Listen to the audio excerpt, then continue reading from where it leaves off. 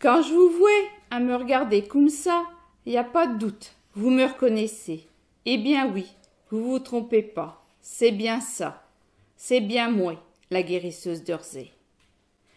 Vous m'avez bien déjà vu, par hasard, dans un chemin creux, ou ben, au pied d'une croix, ramasser des herbes qui sont rares pour soigner les souffrants. Enfin, ceux-là qui y croient. J'enlève toutes les douleurs, sans aucune qui ont le mal de cœur, ou ben une trop petite vessie. Je guéris les cocus, et puis les fous. Je le feu, et j'enlève les rides aux fumelles que sont fripées. Je les beurdins, puis les beurre-choux. Je coupe les hémorroïdes à ceux-là qu'en m'ont attrapé. Je peux soigner une vieille dent ou un gros furoncle qui est mal placé.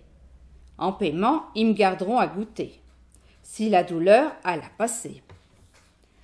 L'an dernier, il y a le grand Jules qui est venu me chercher. Son gars s'était fait piquer par un gros burgot. Dans un grand chagne, qui s'était juché. Il n'emmenait pas large, ce grand nigo. Va là, que je te dis au gamin, qui avait une tête comme un taurin. Rien qu'en y cupant dans la main, en un rein de temps, il sentait plus rien. À ce que paraît, je fais peur au monde, avec mes secrets, puis ma robe noire. Ça fait de la bonde, vous pouvez me croire. Dame, y a pas grand monde qui va me voir dans mon petit cafournio, à moins que les couers, ou ben les étourneaux. Pourtant, je suis pas une ch'time femme, j'enlève le mal avec mes ondes.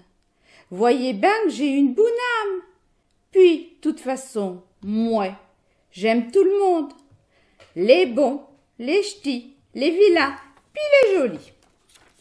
Si, un jour, pendant que j'y pense, sans savoir d'où que ça va, vous avez des ruchements de panse, ou que ça vous prend dans le bas des reins.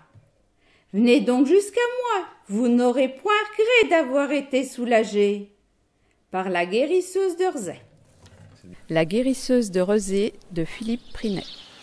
Alors, voyure